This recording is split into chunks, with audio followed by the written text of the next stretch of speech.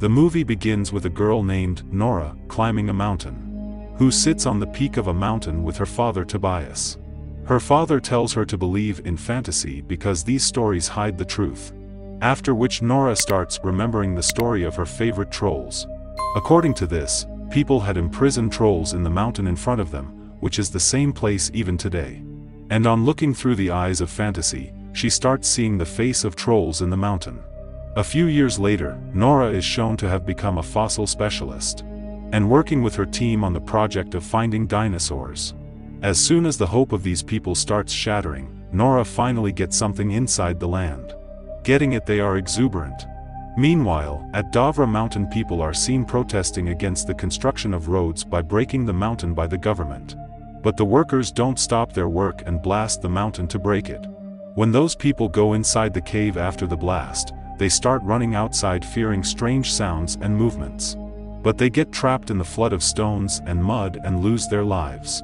After this, the army headquarters of Oslo is shown. Where the news of the accident in the mountain reaches and those people send helicopters there for help. Along with this, due to the seriousness of the situation, the news is also sent to the Prime Minister. They observed some footprints in the footage. They were such a big size that no one was ready to accept them as footprints. That's why it is decided to call a specialist. Then the Norwegian government seeks the help of paleontologist Nora Tideman. At first, Nora is not told anything, then on reaching the headquarters. She realizes the seriousness of the situation after seeing all the government people present there. Seeing the footage of the mountain, all the specialists start giving their own theory. Then Nora interrupts them and tells them about the footprint. Before this debate goes further, Sigrid comes and shows them a video. Which the shadow of a monster was visible between the rock and soil from that cave. Along with this, some voices are also heard. Meanwhile, we see a house in the middle of the mountain where suddenly the earth began to shake. Due to this, the couple living there hides in the basement. When they come out after the disaster is over, their house is destroyed. Nora was accepting the fact of this monster but everyone else starts making fun of her. Nevertheless, seeing her confidence, the Prime Minister along with her advisor Andreas sends her to the accident site for research. In the helicopter, Andreas asks Nora the reason for choosing this profession. So Nora tells him that because of her father, she was in love with nature since childhood. Her father was a folklore expert who used to research such things which are just a myth for the people. He went so far in this research that people started calling him mad. Nevertheless, he used to say that in order to see something, it is necessary to believe in it.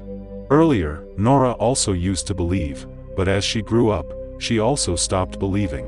On reaching the accident site, both of them meet Norwegian military soldier Chris. Who tells them that whatever it was came from the south and stopped at a place after passing through this valley. Nothing is known of him since then. Then the couple whose house was destroyed told Nora that they did not see that thing but it was as big as a mountain. Which disappeared after destroying everything.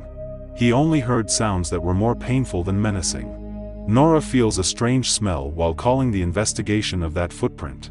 According to her, it was of hypernature. Then those people go to check the place where this thing had stopped. Nora was feeling something even without wanting to, so she goes to meet someone with Chris and Andreas. Who can guide them better in this situation? Actually, he was none other than Nora's father Tobias. In his house, they get pictures of their research. The research was being done on the same cave many years ago. From there he found something fearing that he stopped the research and destroyed all the evidence. Due to this, no one could know what it was. Nora shows the video and footprint to her father and asks for advice. Because according to her no one knows those mountains more than her father. But, she asks them to forget their myth and fantasy and tell the facts. Still, Tobias had to say that he is a troll and he exists. While researching their existence, Tobias was very close to the evidence. But then some powerful people sent him to the asylum for fear of revealing their secrets, calling him mad. After this, to hide the reality of Troll, by making comics on them. Now they have made books and kept their existence as fantasy and joke. Now Tobias was not ready to listen to anything, on which he is forced to take them to the accident site. Here Nora and Tobias are doing research. Only then Nora feels the same smell, after which something happens that shakes them all. Troll stands wide open right behind Nora and Tobias. For a minute they all remain stunned. But then they run away from there saving their lives. Along with this, a video of this troll is sent to the headquarter. Seeing which the ground goes out from under everyone's feet there. Now Tobias tries to convince the Prime Minister and everyone else that he is a troll. But even after seeing it with his own eyes, no one was ready to believe this. Now seeing this situation getting out of hand, these people are ignoring Nora. The decision to conduct a military operation is called to avoid devastation. Nora also starts getting angry with her father that he should come out of this fantasy world. But then he silences her by saying that if she didn't believe in Troll then why did she come to him for help? Now he explains that once more she should believe in her father and go on this adventure with him. Which she will never be able to forget. Finally, Nora is convinced by her father's words. Reaches out to Chris and convinces him to take Tobias and Andreas with him on the mission. While promising that those people would only watch everything happen from a distance. After reaching that place, all the soldiers take their respective positions and wait for Troll. Nora finally believes her father's words and forms the same childhood bond with him, which gives them both immense comfort. After which there is an arrival of Troll for which all of them had been there. Tobias repeatedly forbids them to fight against the Troll. But those people start firing on Troll without listening to him. But that Troll was not being affected by any attack. On the contrary, after every attack, the Troll becomes aggressive and starts moving toward them in which many soldiers lose their lives. Eventually, the survivors go into hiding to avoid him. But sniffing the blood of a wounded soldier present with them, Troll reaches them and eats him. In this situation, Tobias shows bravery and tries to go in front of the Troll and talk to him. The surprising thing was that Troll also calms down after listening to Tobias as if understanding him. But only then do some soldiers start firing on Troll due to which Troll angrily injures Tobias. But we see that Troll himself is not very happy after injuring Tobias. Like he didn't want to do it but out of fear he had to do it. After which he leaves from there. Taking his last breath, Tobias tells Nora three things palace, king, and home. After which, taking a decision from the heart gives the advice to do everything right. Nora cries a lot seeing her father dying in front of her. And this is a very emotional scene. After this, Nora collects her father's research and starts working on it. The next day Chris informs her that the troll is now heading toward the big valley. On which they now have orders to attack him. But Nora said that even this will not help. After which she and Andreas start remembering all kinds of myths and stories made about Troll. Now she remembers that Troll didn't like the sound of bells at all. With this theory, both of them go to talk to their senior. Where Chris also supports them because he has never seen this enemy of his before and any weapon is not affecting him. According to that, now they have to think of something else. On which the Prime Minister goes against the security head and asks them to do their mission. Scene shifts to Troll who heads south toward an amusement park. When people see him coming, there is a stir and now they start running to save their lives. Only then did Nora and her team reach Troll with church bells on the helicopter the one who gets really fed up hearing the sound of church bells. Now, these people reach near him. An enraged troll destroys all three helicopters one by one. Which was about to fall on an innocent child standing below. But Troll stops it and saves the child as he does not want to harm any innocent.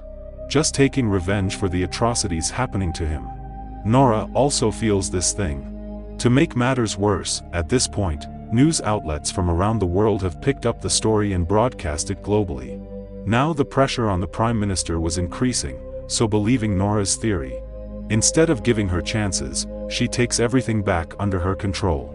Because as the troll heads to Norway's capital, Oslo, they can't afford more damage. While saying bye to Nora, Chris also says that he agrees with Nora because he has seen all this with his own eyes. Along with this, the government is making a mistake by sending Nora from there. Minister of Defense Fredrik Markussen and Chief of Defense General Sverre Lund advise the Prime Minister to kill Troll using missiles. Andreas decides to resign from his position. After learning the government's plan to bomb Oslo and, hopefully, destroy the Troll. The Prime Minister agrees on the use of the missile. After which the Prime Minister orders a complete evacuation of the city Norway's capital, Oslo. So that no one dies during the mission. Andreas and Nora realize from Tobias's research that while dying, he said that the palace in Norway's capital is the Troll House. That's why Troll is taking the path leading to the palace instead of roaming the whole country. Both immediately leave for the palace where the king recognizes them. Now seeing such a big danger coming towards the palace, he apologizes to Nora. Because of that Tobias had to go to asylum because he was in danger from his research. After which the tunnel coming out of the palace is visible where the skeletons of Troll's family were. This troll is the king of his kind, whose family was mercilessly killed by humans and locked here. While he was imprisoned in the mountain and left to die. Now he is coming here just to see his family.